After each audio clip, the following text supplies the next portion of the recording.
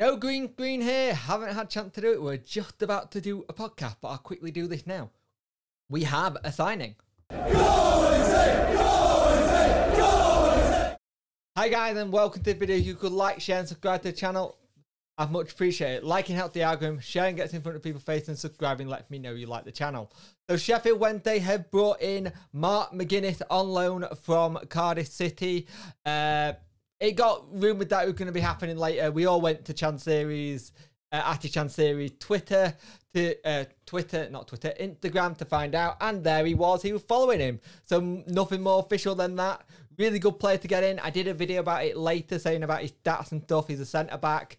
Uh, he can play on the right or the left. Uh, it'll be good to see what he can do. He's only 21, so it's a good age. It's a good to get him on loan as well. This is a position we were desperately needing to get in as well.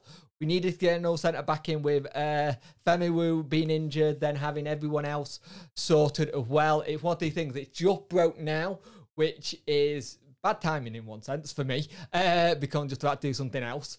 But it can be interesting to see how he fits in. It's a it's one these ones where I don't mind. It feels like a Lewis Gibson style of signing. We've beaten off Wigan for him as well. Um, Let's hopefully he can grow at Wednesday, become a good player, and help Cardiff along the way as well. So we'll see what happens there. But as it stands, Mark McGuinness is a Sheffield Wednesday player. He's joined on season long loan. Welcome to the club, and let's see how you do.